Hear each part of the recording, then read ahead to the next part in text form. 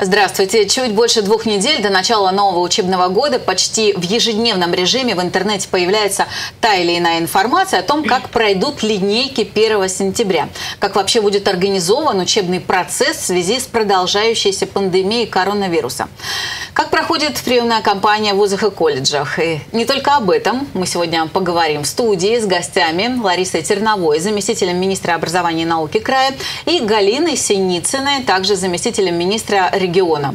Здравствуйте, рада вас видеть. Лариса Станиславовна, ну, первый вопрос, наверное, к вам. А, массовые мероприятия у нас в регионе по-прежнему запрещены. Но 1 сентября, ну, нельзя никак не назвать массовым мероприятием. Вот как оно пройдет? Уже есть какое-то понимание? Нужны ли маски на линейке? А, ну, в настоящее время, а, естественно, подготовка к линейкам идет в каждой образовательной организации, потому что даже если это будет не в очном режиме, в любом случае для детей праздничные мероприятия будут организованы. Сегодня такой формат уже а, распространен. Мы с вами прошли уже выпускные вечера, последние звонки в несколько другом формате. То, что касается непосредственно линеек в Алтайском крае будет чуть позже э, известна четкая э, и дата, и понимание, и количество детей на линейке, потому что вариаций может быть э, большое количество. Это могут быть только первые классы, э, которые э, социальную дистанцию э, выдерживают и находятся на улице.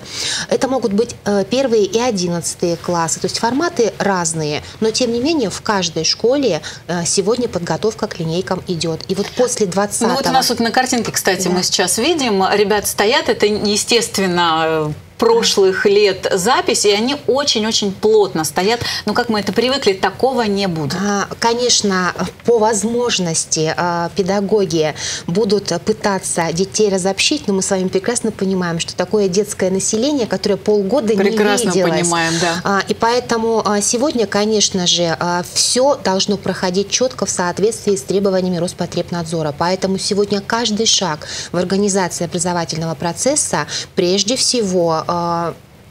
С рекомендациями нашего Роспотребнадзора. Ну, без масок обойдемся точно, Без масок обойдемся точно. А могут ли какие-то школы не открыться 1 сентября вот из-за того же коронавируса? А, нет, а, на сегодняшний момент подготовка а, и приемка образовательных организаций Алтайского края завершена. Все школы готовы и готовы именно к очному формату. То есть 1 сентября все школы Алтайского края откроют для детей двери.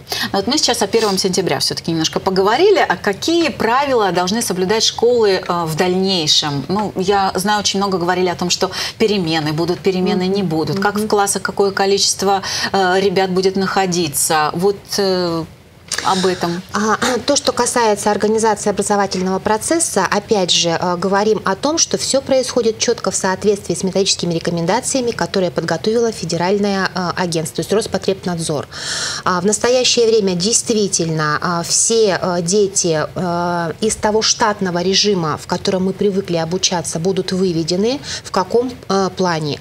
У каждого класса будет свой кабинет закреплен, то есть дети по кабинетам ходить не как будут. Как это было всегда Как это было всегда раньше. традиционно. То есть наоборот, педагоги будут приходить э, к детям. А, то, что касается уроков физической культуры, пока а, позволяет э, погодные условия, а, уроки физкультуры будут проходить на улице, а далее будем уже э, о формате проведения этих уроков рассуждать, когда наступят другие как бы, да, погодные условия. А, Но то, вот что... не выпускать детей из класса я вообще не представляю, Нет. особенно маленьких, да? Вы знаете, вот как раз для этого сегодня сегодня в каждой школе э, готовится свой график. А, то есть каждая школа готовит скользящее расписание. А, кто-то э, взял за формат, что одна параллель приходит к 8, вторая приходит к 8.15, то есть идет плавающее расписание внутри самого процесса образовательного. Поэтому перемены, конечно же, будут. У каждого класса точно так же по формату, как мы это с вами прошли во время единого государственного экзамена будут определены э, площади, где дети могут находиться. Конечно, по возможности будем пытаться разобщить детские коллективы не конкретно внутри класса, а между классами, между параллелями. Поэтому сегодня логистика в каждой школе выстраивается э, по э, коридорам, по кабинетам, по лестничным пролетам. То есть у каждого класса своя логистика, свой график свой маршрут, как они по школе передвигаются, как они заходят, как они выходят. Ну и, в общем, как это будет как бы такая проба, да, скажем так, как можно в новых условиях учиться очно. А, вы знаете, а, надо сказать о том, что пробу как раз наши образовательные организации уже прошли э, в процессе, как я уже сказала, единого государственного ну, экзамена. Мне кажется, это немножечко все равно а, другое. Тем не менее, все, что касается термометрии, все, что касается санитарных норм и правил их э, выполнения, все это уже как бы школами э, пройдено. Ну а то, что касается большого количества детей, да, действительно, э, сложности больше всего ожидают большие городские школы. А, те школы, которые у нас являются малокомплектные, которые находятся в сельской местности, работают в одну смену, у них практически проблем с размещением детей нет. А не может такого случиться, что в три смены начнем учиться, нет. раз надо развести этого точно, этого точно не будет, а, потому что, как я уже сказала, каждый э, класс, каждая школа сегодня уже подготовили свои расписания, свои э, нормативно-правовые документы, поэтому э, мониторинги идут в ежедневном режиме, как будет э, школа организовывать образовательный процесс, поэтому ни о каких трех сменах речи быть Поняла. не может. А Галина Владимировна, заскучали, наверное, уже тут у нас, пока мы рассуждаем о школах. А, как готовы к новому учебному году колледжи? Да, вы наверняка знаете. И учреждения дополнительного образования. Потому что много где говорили о том, что учреждения дополнительного образования в этом году вообще не откроются. Ну, там вокальные какие-то, хореографические. А, что будет? Как, как это все будет происходить? Надеемся, угу. что все будет происходить э, в штатном режиме с 1 сентября. Сегодня учреждения дополнительного образования э, подготовили свои учреждения, прошла приемка к началу учебного года, проведены ремонты. И я думаю, что уже многие родители э, связались с учреждениями дополнительного образования, уточнили, какие программы сегодня будут реализовывать те или иные учреждения доп. образования – Сегодня идет запись во многие уже учреждения. А, с 25 августа начнется запись в краевые учреждения дополнительного образования. Учебный год планируется начать с 15 сентября Некоторые ограничения будут, к примеру, такие э, коллективы, которые ну, танцевальные, ну, танцевальные массовые, это же все рядышком да, как-то где-то. Массовые. Они просто выходят в другой график занятий. Они, конечно, будут смотреть за соблюдением вот, э, с, количества детей, чтобы их не так много находилось в помещениях. Для них тоже существуют некоторые ограничения. Но, безусловно, первыми требованиями являются это э, режим дезинфекции в тех помещениях, в тех э, кабинетах, где будут ребята заниматься. Здесь точно так же, как и для общеобразовательных учреждений, предусмотрены... Так же, как и для колледжей, наверное, Так же, да? как и для колледжей, предусмотрены прежде всего по требованиям, по методическим рекомендациям э, Роспотребнадзора соблюдения санитарных норм. Мы сегодня понимаем, что, говоря о масках, они, конечно, в детской среде здесь не предусматриваются. Для обслуживающего персонала это обязательная тема, потому что все-таки по взрослым друг другой подход. И э, там, где э, есть буфеты, там, где есть э, какие-то вот такие услуги, связанные с э, питанием, там, безусловно, для сотрудников будут предусмотрены э, масочные режимы. Ну, раз заговорили о буфетах и о питании, вернемся снова в школу. Недавно было принято решение, что ученики младших классов у нас будут питаться бесплатно. Э, все ли и все ли к этому готово?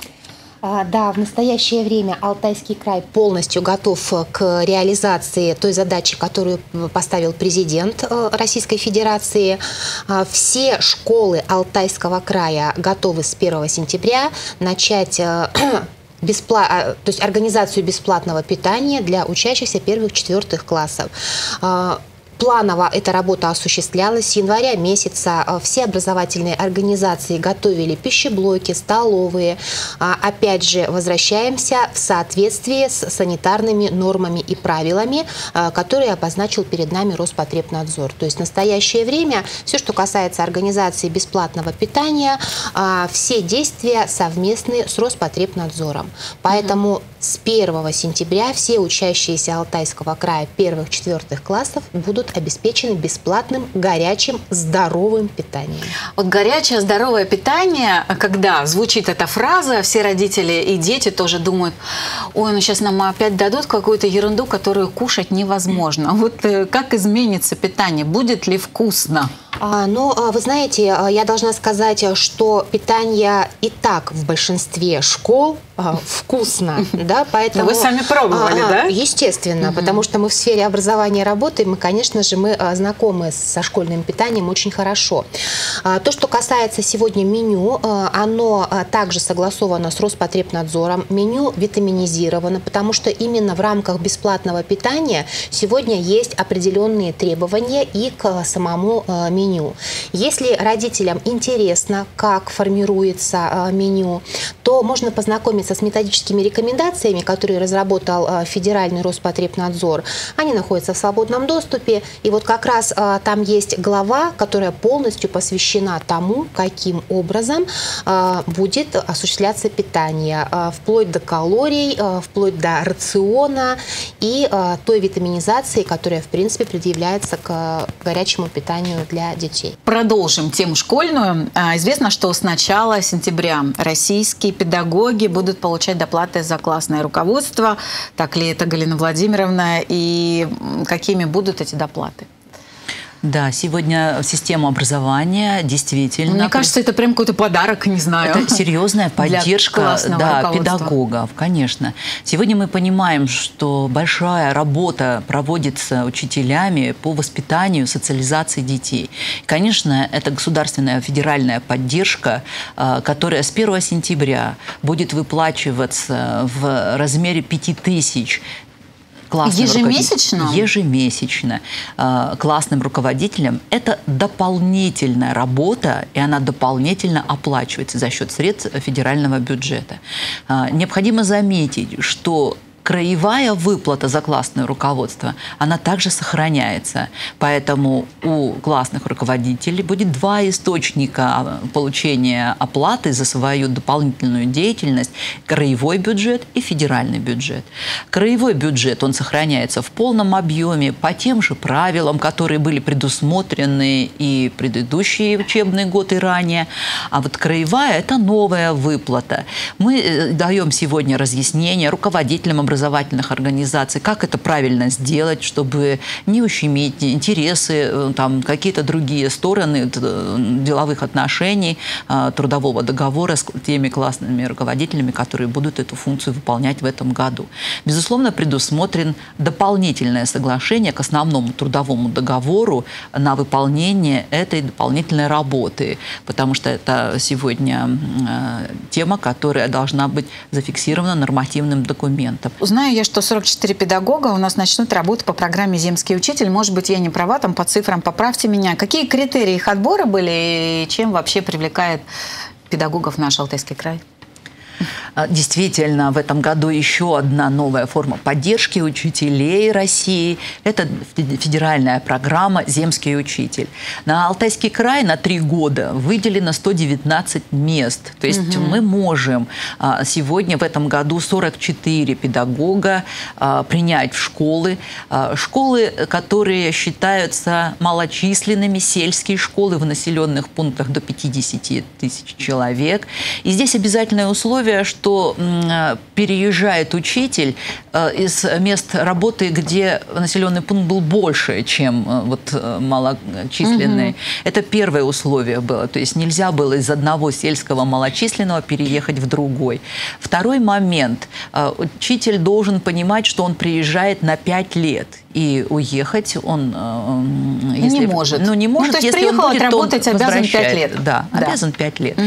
И, конечно, мы очень рады, что Алтайский край стал привлекательным для многих а других возраст субъектов. вот этих людей? В данном случае у нас уже определены победители этого конкурсного угу. отбора. Вот Но на, это молодые году, люди в основном? От 20 до 53 угу. лет. В общем-то, то есть это разная люди, возрастная разные категория. категории да. да.